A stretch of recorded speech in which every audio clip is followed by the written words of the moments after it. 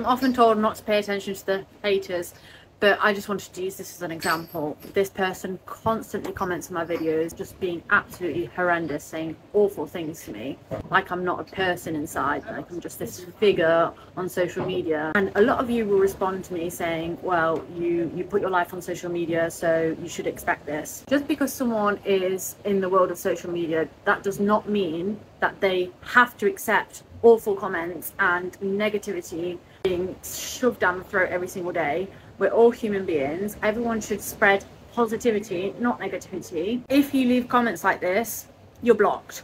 Bye. Bye, Chiara.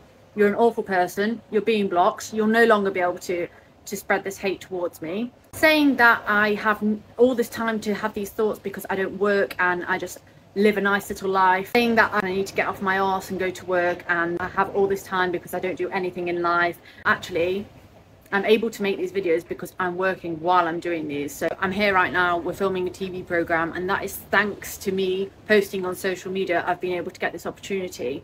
I don't have a day off. I spend, you can even see my screen time, I spend nine hours a day, every single day, just replying to all, all my community. I spend hours every single day making these videos, coming up with concepts, um, editing, posting, um, everything that is involved in creating a social media presence. I do that all by myself every single day, Monday to Sunday.